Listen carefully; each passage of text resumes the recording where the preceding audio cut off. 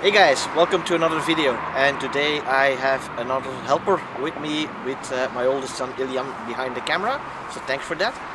And we're going to test the uh, Smart Summon feature.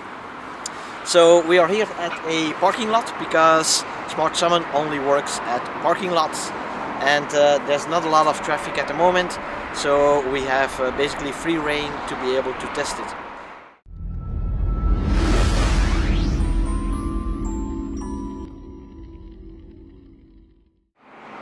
Right, so the first test we are going to do, the car is parked there. I'm here at exactly 6 meters away from the car, so this should be the limit where I can actually test it. And I want the car to back out to me so I can basically step in as if I were a passenger. Um, so for that we're going to take the app and uh, we'll use summon here. So it's connecting to the vehicle right now. And next to the forward and reverse, we now have smart summon. So if I do smart summon, I take my position here, I'm going to adjust it a little bit, see if I can zoom in a little bit. Nope, this is the maximum. So I'm going to back out to my position here. And then I'm going to try to summon the car. So it says preparing to summon.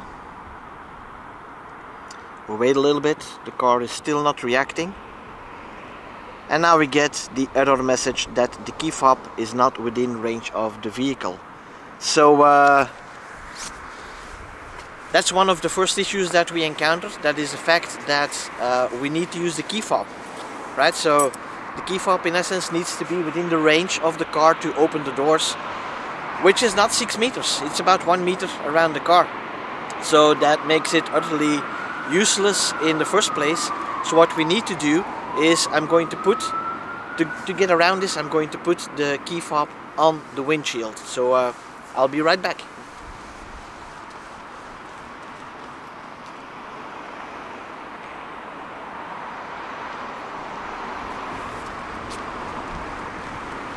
Okay, so let's try that again. So I'm going to uh, summon, connect to the vehicle, smart summon, let's back up a little bit here okay. Same position like right here. Maybe a little bit like that. Right and then it's going to prepare to summon the car is closing the mirrors or folding the mirrors.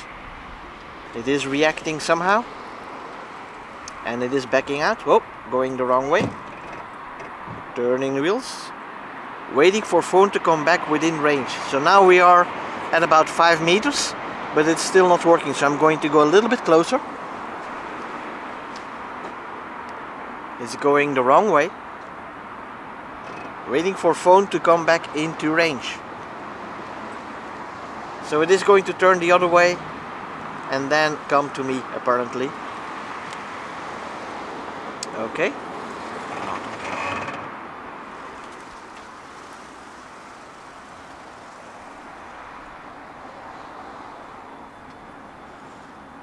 Okay, summon complete.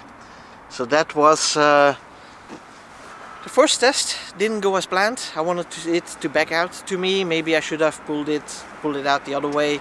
Uh, I don't know. But uh, let's continue to the next one. So the second test I want to do is my car is parked over there, and if you follow me, right, there's uh, a little bit in the way there. So I want the car to maneuver next to it and I want to have it stop right over there. So again, we're going to uh, summon the car. Yeah, keep focus on the car please. Connecting to the vehicle. So right now, so here you see, right, the car is more or less there. I'm going to summon it to that location which is less than 20 meters. It already says move pin closer to the vehicle. So it needs to be within that circle apparently. And uh, let's go to the target and let's see what summon does. I'm going to stay well within range this time. Wheels are turning but not much is happening. Waiting for the phone to come back within range. Okay now it's going. It's going. Slowing down for intersection it says Waiting for the phone to come back into range. We need to move out of the way, Elian. So it is moving, it is moving. It probably would hit the car in that other uh, parking lot, but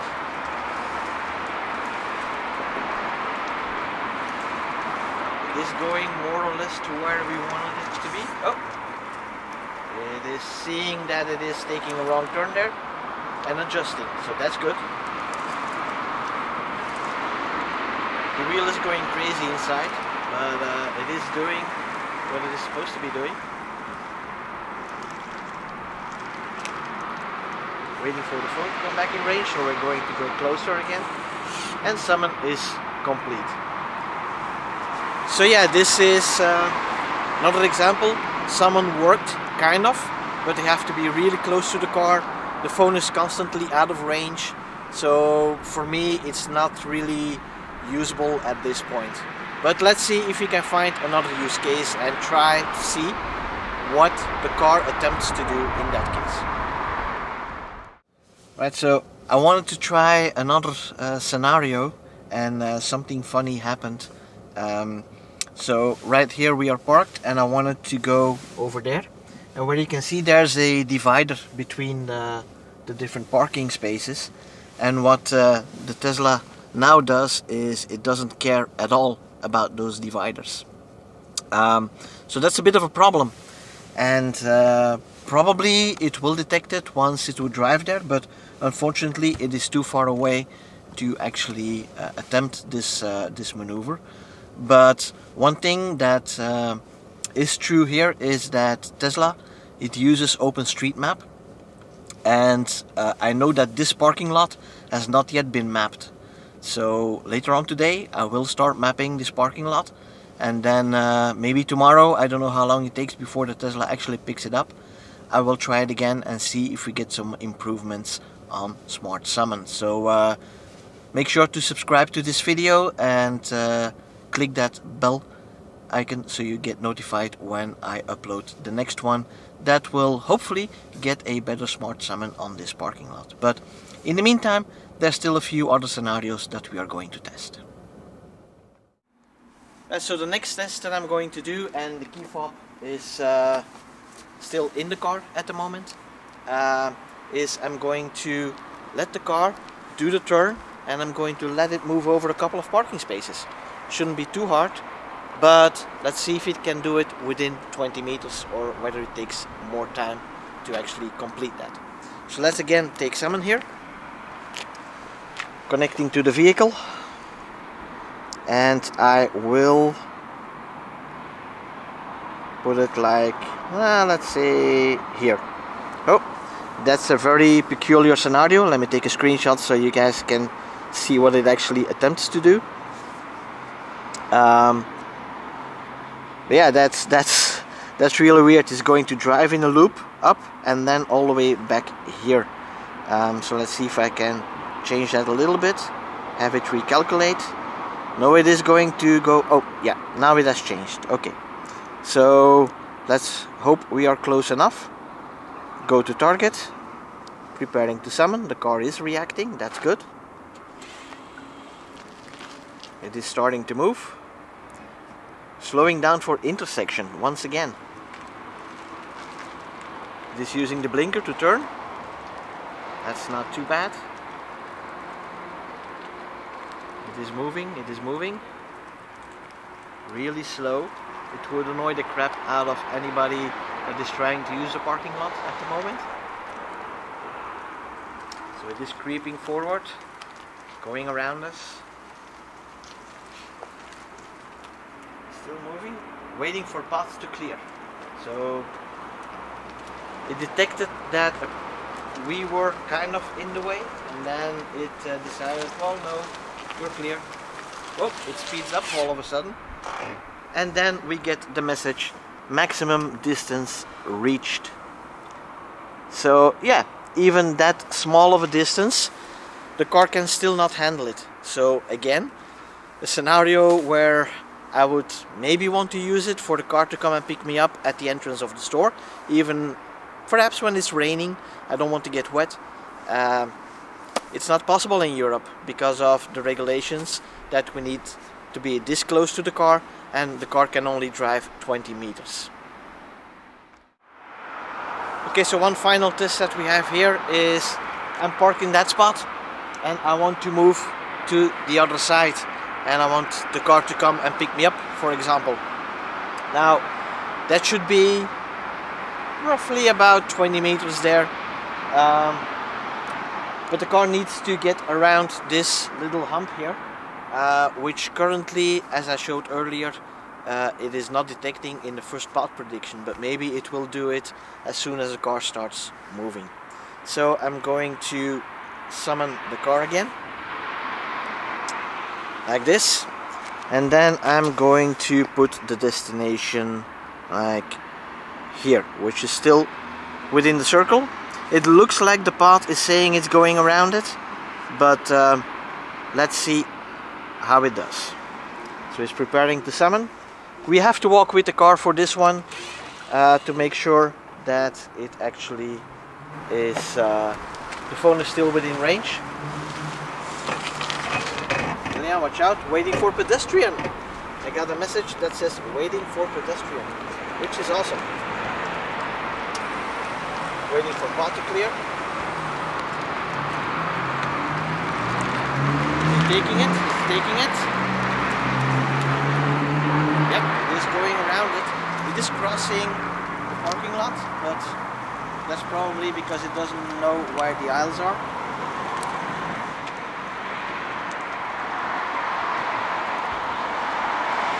Is moving. We need to stay close with the car waiting for phone to come back within range. I mean, come on. So the phone range that goes in and out and it is really, really sketchy. Uh, still going, it's going straight on instead of turning.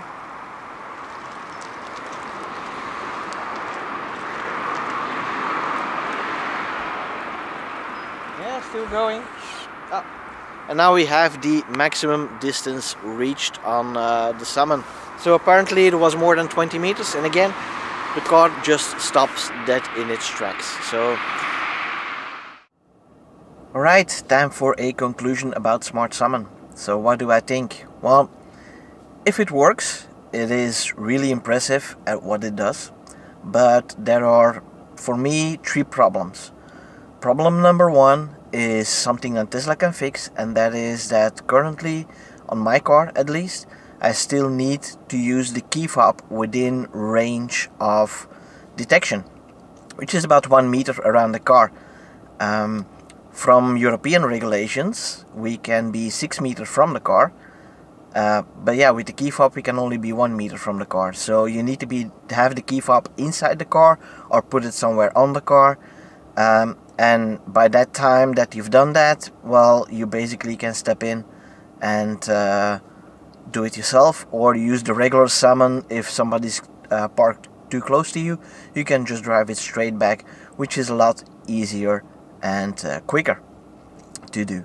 So that's uh, the first problem. The second problem is of course uh, the UN regulations that say 6 meters away from the car and the car can only drive 20 meters. But if the car needs to back out and drive forward, those meters are added up. So it's not 20 meters distance that is going to travel.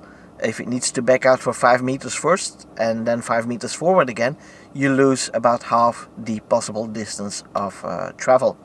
So yeah, that's just uh, stupid and uh, again one of those regulations, especially since we can only use it on parking lots, right? Uh, that's private property and regulations should not apply to private property in general. But apparently they do. Uh, I still have to dig into the specifics of those regulations to see if they really can apply to that, but this is the way that Tesla has currently implemented it. Um, and the third one is of course the GPS position. Uh, because it needs to detect your phone within that 6 meter range. It seems that the GPS on either my iPhone and or the car uh, is not accurate enough to be somewhere in the boundary. So about 4 meters away you're fine, 5 to 6 meters away you have to be lucky to get it working at all. So yeah, it's it's a nice party trick, but it's nothing more than that. It's nothing useful, especially with the key fob situation, so you can't even summon it from 4 meters away at the moment without first going to the car and placing the key fob on it. So yeah, I'd like to see that uh, change. So Tesla, if you're listening, uh, please update the system so it doesn't require the key fob anymore and just rely on the phone position and the phone connection. Um, another thing is that I'm not sure of is whether it uses Wi-Fi or Bluetooth. I think it uses Wi-Fi because before I started testing, my car was on the Wi-Fi hotspot, but the hotspot was not connected. I needed to enter the pin code, and it didn't work. Summon would not connect to the car. So with Wi-Fi, there's an issue in underground parking lots where you don't have a proper signal. Again, you won't be able to use Smart Summon or even regular Summon in that case as I mentioned before in uh, one of my earlier videos. So yeah, but that being said, if it works, it works great. But also, I've tested it yesterday evening, and then the weather was a little bit colder, and then I got messages like, summon is not ready, um, Vision Sim, uh, I thought it was Vision System temporary degraded, something like that. Um, so I'm getting all kinds of error messages as soon as it gets colder, you're in the car, maybe the camera starts fogging up, stuff like that. So there's still a lot of work that needs to be done. I think even to the hardware to even come close to full self-drive. Um, but yeah, if it works, it's awesome. Um, so there you have it. I'm going to, as, as promised, I'm going to update the uh, parking lot now I'm going to uh, put some parking aisles there so that the car better knows where it can drive and then when uh, the car detects that then I'll make another video to see if the different maneuvers are being um, more efficient uh, let me put it like that than they were today so make sure to stay tuned for that give this video a thumbs up and uh, subscribe to the channel using that button down there and don't forget to click that little bell icon so you don't miss out on any future videos. And for now, thanks for watching, see you guys next time. Bye bye.